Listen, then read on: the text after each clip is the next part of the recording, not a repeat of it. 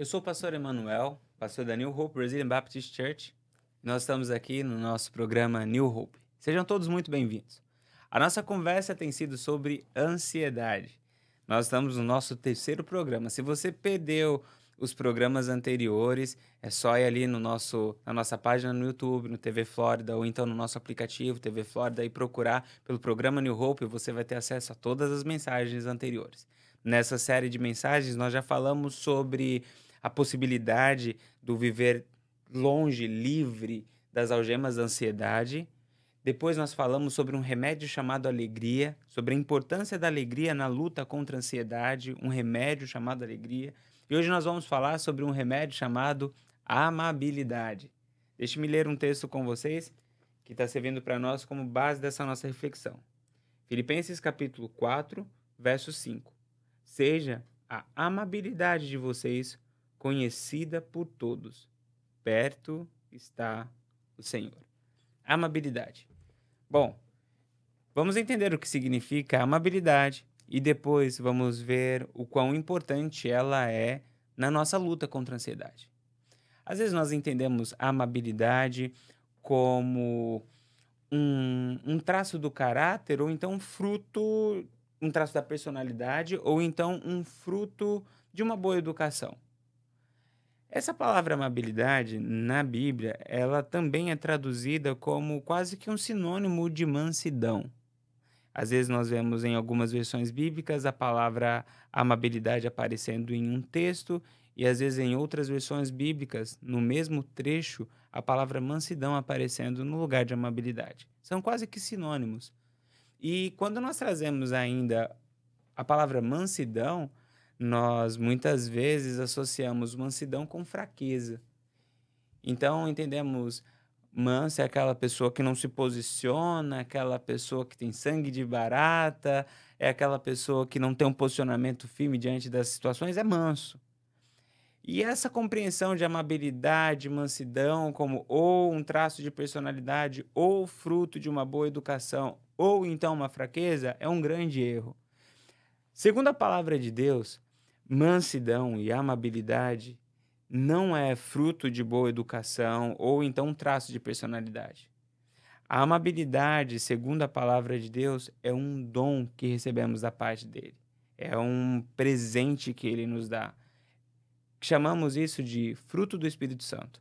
Nós temos um texto que está em Gálatas, capítulo 5, verso 22 e 23, que diz: Mas o fruto do Espírito é amor, alegria, paz, paciência, amabilidade, bondade, fidelidade, mansidão e domínio próprio. Contra essas coisas não há lei.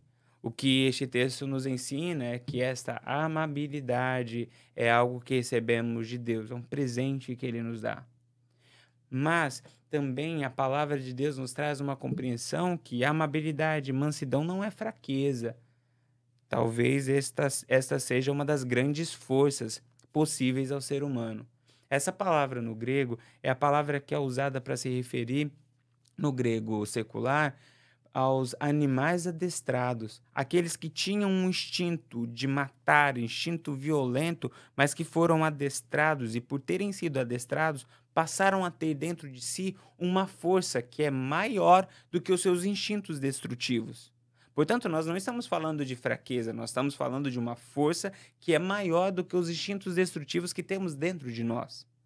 Nós, ao estudarmos essa palavra dentro da literatura grega, veja uma das compreensões de uso dessa palavra, que amabilidade, mansidão é traço de caráter daqueles que têm a mente nobre do sábio que permanece sereno, controlado diante dos insultos. Veja, a reação de amabilidade, de mansidão diante do caos não é fraqueza, não é traço de boa educação, então traço de é, personalidade, mas é força. A palavra amabilidade, mansidão, ela é o extremo oposto da reação de pânico. Sabe aquele feito tourada, estouro de tourada, estouro de boi, que quando os bois são encurralados, eles vão sendo oprimidos, vão sendo colocados em uma situação de, uh, de medo. de repente, do nada, aquela boiada tem um estouro, e eles, aqueles touros, aqueles bois saem pulando, pisando, ah, sem ver quem está na frente e faz um estrago. Muitas vezes nós temos essa reação dentro de nós diante do caos da ansiedade. É, vamos ficando oprimidos, vamos ficando encurralados e tem esse estouro. Mas aqueles que são amáveis, aqueles que são mansos, têm dentro de si uma força que é maior do que estes impulsos de sair pisando, mordendo, gritando nenhum momento de caos. Bom, fazendo uma definição sucinta sobre amabilidade e mansidão, à luz da palavra de Deus, vemos que amabilidade e mansidão é a forma pacífica, sábia, serena de reagir em meio ao caos, guiados pelo Espírito Santo. Isto é amabilidade e mansidão. E é, ela diz, diz respeito à nossa reação. A pergunta que vem é: por que amabilidade e mansidão é importante no diálogo sobre ansiedade? Esta é a questão. Por que Paulo está falando sobre amabilidade em um momento em que o mundo está virando de ponta cabeça na vida dele? Ele lembra? Ele está dentro de uma prisão. Por que para ele é tão importante isso? Porque no momento de ansiedade, eu acredito que você deva saber disso, ou por experiência própria, ou porque viu alguém passando por uma situação como essa. Em um momento de ansiedade, algo que é natural a nós é aumenta a ansiedade, paralelamente aumenta-se o nível de estresse. E quando aumenta-se o nível de estresse, paralelamente diminui o nível de paciência. E quando diminui o nível de paciência, paralelamente diminui as nossas resistências às dificuldades, às adversidades ao nosso, ao nosso redor. E com isso aumenta a nossa agressividade, aumenta os nossos gritos, aumenta a briga dentro de casa, aumenta os nossos problemas devido às nossas reações. O que Paulo está falando aqui, o que Paulo está trazendo para nós, é um elemento que é crucial quando a ansiedade bater na nossa porta. É para que nós tenhamos um meio para não agirmos como animais em um momento de ansiedade. Para que o pânico não se estabeleça, para que a fúria não tome conta. Porque quando estamos ansiosos, a nossa reação natural é essa: ficarmos sem paciências, ficarmos sem, sem paciência e ficarmos estressados. Mas veja, a amabilidade é esse recurso que Deus nos dá e que podemos desenvolver nele, que tem a função, guarde bem isso, tem a função de nos proteger e proteger quem está à nossa volta. Porque quando estamos ansiosos, nós temos uma grande probabilidade de sair ferindo e sendo ferido no meio do caos, como animais, como bois em estouro, em opressão, em meio ao caos. A, a mansidão e a amabilidade têm essa função na nossa vida. Nos proteger e proteger aqueles que estão à nossa volta no momento do caos. A pergunta que vem na sequência é como desenvolver. São apenas dois passos. Primeiro, nós precisamos compreender que existe uma face dessa amabilidade que é passiva, que é algo que recebemos. É, a amabilidade é desenvolvida pela presença de Deus. Veja o que o texto diz. Ah, seja a amabilidade de vocês conhecida diante de todos os homens, perto está o Senhor. O Senhor é a âncora da nossa paz, é o que nos segura em meio ao caos da ansiedade para que a gente não seja levado para o mar da fúria essa âncora que nos acalma, é essa âncora que nos segura, para que quando a ansiedade bater, quando ela chegar, a gente consiga se controlar.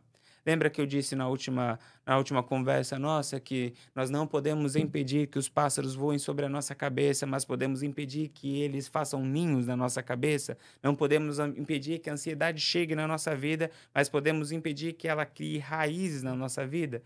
Bom, a amabilidade, a mansidão serve para este momento quando os pássaros estão voando sobre a nossa mente, quando a ansiedade chegou para nós. Quando isso acontece, para que a gente não haja como animais, como besta fera, a amabilidade está aí para nos segurar. E a palavra de Deus nos diz que esta é uma realidade, é um presente da parte de Deus para nós. É, é Ele que nos concede. Não tem como nos tornarmos mansos, amáveis, apenas pela força de vontade, apenas pelos nossos recursos, pelos nossos treinamentos. Não, essa compreensão que Deus está perto que nos traz essa certeza, essa força para sermos amáveis, para não sairmos brigando, mas confiar que Deus está perto. Deixa eu trazer um, uma história que provavelmente você conhece, a história da multiplicação dos pães e peixes.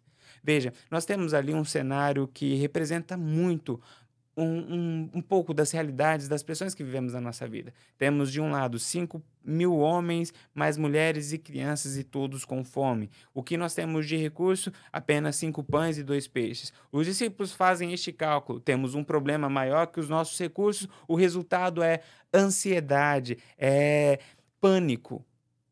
E aí eles vão para Jesus e veja, a conversa dos discípulos com Jesus não é uma conversa amigável, não. Eles não chegam, mestre, qual é a tua vontade? Não, eles digam, eles chegam dizendo, é, manda esse povo embora, porque nós não temos comida para todo mundo. Jesus vira para eles e diz: contem o que temos. E eles contam, e a resposta deles é: nós temos apenas cinco pães e dois peixes. Veja, todo o diálogo dos discípulos de Jesus representam exatamente esta realidade de ansiedade, de pânico. Temos um problema maior que os nossos recursos, ansiedade.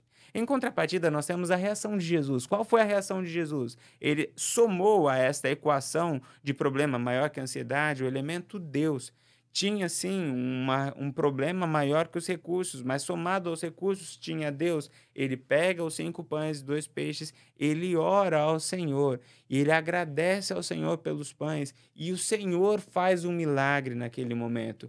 E ao invés de termos na ponta, no resultado dessa equação, ansiedade, pânico, o que temos? Nós temos amabilidade e mansidão, e vemos isso na pessoa de Jesus. O que essa história nos ensina é que dá para desfrutar de amabilidade e mansidão em meio ao caos quando nós trazemos Deus para essa equação. Antes de abrirmos as lancheiras da nossa vida e começarmos a contar quantos pães e peixes temos para enfrentar todos os problemas que temos, nós precisamos abrir o coração para que Jesus entre. Antes de começarmos a olhar para os problemas, para a multidão de problemas que temos, nós precisamos a contar as inúmeras vezes que o Senhor já realizou milagres na nossa vida. E então, essa compreensão que Deus está perto traz mansidão para a nossa vida, traz mansidão para o nosso cenário. E ao invés da gente sair lutando, brigando, gritando, a gente lembra: ei, Deus está perto, eu posso me acalmar. A segunda face desse desenvolvimento da amabilidade e mansidão na nossa vida está relacionado à nossa decisão, à nossa busca por desenvolver essa realidade de mansidão na nossa vida. E para que isso aconteça, nós precisamos ter ah, aquilo que chamo de um desencanto com a fúria e amar a mansidão. Para que a gente consiga desenvolver a mansidão e a amabilidade na nossa vida, nós precisamos nos desencantar dos nossos atos de fúria. Paulo vai dizer: seja a amabilidade de vocês conhecida por todos. Aqui é uma ordem. É ele dizendo: olha, isso aqui é importante para a vida de vocês no momento da, da ansiedade. E se tem uma coisa que muitas vezes nós não consideramos no momento de ansiedade é mansidão e amabilidade. Nós nos encantamos com a fúria. E muitas vezes os nossos relatos sobre o momento de ansiedade é: ah, mas eu resolvi aquele problema quando eu fui, coloquei a boca no trombone, quando eu chutei o pau da barraca, quando eu virei a mesa, aí as coisas se resolveram. Essas falas, essa narrativa tem como plano de fundo um, um conto do herói. É quando a fúria tomou conta do momento de ansiedade, então ou eu resolvi o problema ou eu coloquei o meu estresse para fora, minha ansiedade para fora. Veja, quando nós olhamos para a palavra de Deus, o caminho da fúria, o caminho do rancor, do ódio, não é o caminho da vitória, o caminho da bênção. Deixe-me ler três passagens bem breves para que isso fique claro, no, fique claro no nosso coração. Primeira passagem, Provérbios capítulo 29, verso 22. O homem irado provoca brigas, e o de gênio violento comete muitos pecados. Veja, Aqui o texto está dizendo que o provocar brigas, o gênio violento, não resulta em santidade, não resulta em coisa boa, mas resulta em pecados. Próximo texto, Salmo 37, verso 8. Evite a ira e rejeite a fúria, é a fúria. Não se irrite, isso só leva ao mal. Provérbios 29, verso 11. O tolo dá vazão à ira, mas o sábio domina-se. O que estes textos nos dizem? Primeiro, que o dar vazão à ira, o se irritar, isso é uma decisão nossa. E também nos apresenta que este caminho de fúria é caminho de pecado, é caminho de tolice, é caminho do mal. Nós precisamos nos encantar. Não é batendo na mesa que a gente resolve as coisas, não é gritando com a nossa esposa, não é gritando com os nossos filhos. Isso só piora a situação. No momento de ansiedade, seja amável, seja manso, desencante-se com a fúria e se encante com a amabilidade e a mansidão. O Senhor Jesus nos deixa bem claro isso quando ele diz lá em Mateus capítulo 5, verso 5: Bem-aventurado os mansos, porque herdarão a terra. O que esse texto nos ensina é que quando nós somos mansos, ele nos dá a terra. E veja, isso é, muito poderoso. Ele apresenta o caminho da mansidão como o caminho da conquista. Só que é interessante que essa conquista não é fruto do nosso esforço, da nossa luta, da nossa guerra, mas é fruto de uma bênção que Deus nos dá, é herança. Ele está dizendo: ó, aqueles que confiam em mim, que têm a compreensão que eu estou perto, que eu estou cuidando e param de machucar pessoas, lutando, gritando, xingando, são estes que eu concedo a terra. E quando a gente fala sobre terra, nós somos remetidos ao Antigo Testamento, terra prometida, que representa na mentalidade judaico-cristã a realidade de paz, segurança e sustento. Esses são motivos que geralmente nos geram ansiedade. Ele está dizendo: eu vou dar para você a paz, o sustento, a segurança se você decidir ser manso, desfrutar dessa realidade que eu gero em você. Pare de lutar, eu sou Deus.